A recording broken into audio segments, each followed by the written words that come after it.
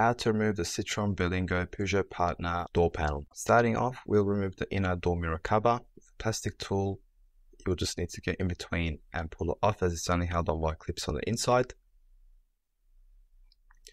Next, we will remove this Torx screw right over here. I believe it was a T30. And then where the door pull handle is, get in between this handle cover and the handle. I'd recommend using a plastic tool or be very careful with a flat metal screwdriver and you'd want to just pull this off as you go gently as it's only held on by clips. There's also two Torx screws underneath this cover. Remove both of these Torx screws. One is directly underneath over here, which is a bit hard to see. Next to the side of the door panel, there is another two Torx screws that you'll need to remove. And one to the bottom. Now for the next part, you can use plastic tools to get in between the door panel and the door itself. And what you want to do is slide it in and create enough space so your fingers can go in, or if you have a clip remover like this, it makes it so much easier. But you can also just go in there with your fingers and pull the bottom out first.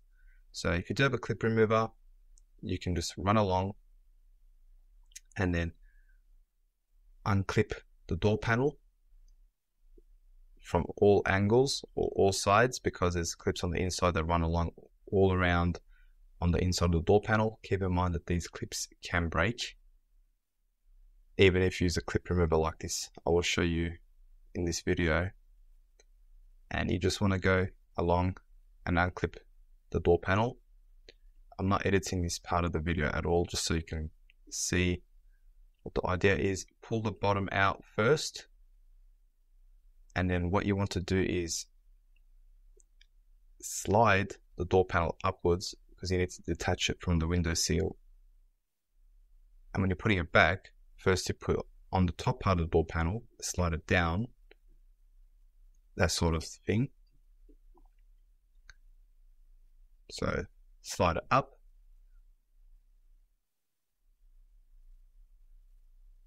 Here is the door panel, and here are the clips. As you can see, some of them are broken, some of them are not there.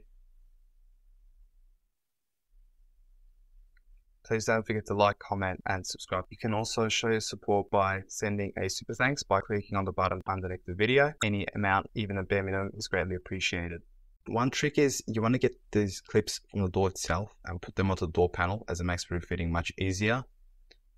So make sure you get all these clips off. And then this one over here, it still breaks even if when I'm using this clip remover, as you can see. And you just want to put these onto the door panel to make refitting easier. Thank you for watching. I hope you have found this video helpful. Please don't forget to like, comment, and subscribe support the channel, and we will see you in upcoming videos.